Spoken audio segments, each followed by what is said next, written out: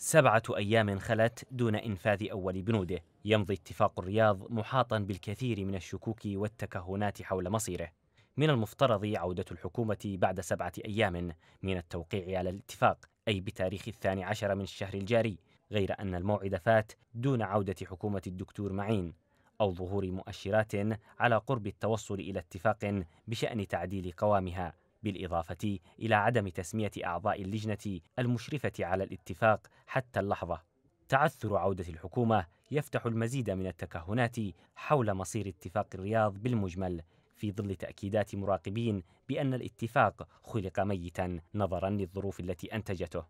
تقول مصادر حكومية إن قرار تأجيل العودة يتعلق بترتيبات أمنية وعسكرية فيما لا تقول شيئا بخصوص جزئية إعادة تشكيل الحكومة. مصادر أخرى كشفت أن هذه الترتيبات تتمثل بجملة من الشروط الجديدة التي وضعها الانتقالي وتبنتها السعودية ومنها انسحاب قوات الشرعية من أبين وشبوة مقابل سماح الانتقالي بعودة رئيس الوزراء إلى عدن.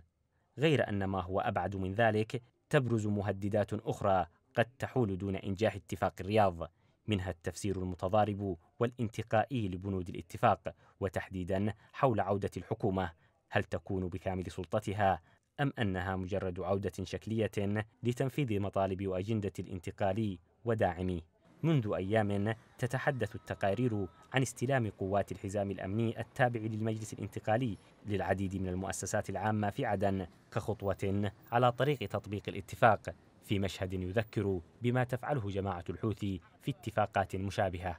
ونحن نقوم بتأمين مداخل عدن ومخارجها كامل وتحت قيادة رئيس المجلس الانتقالي بعد الاتفاق الذي حصل بالرياض بقيادة المملكة العربية السعودية والإمارات العربية المتحدة.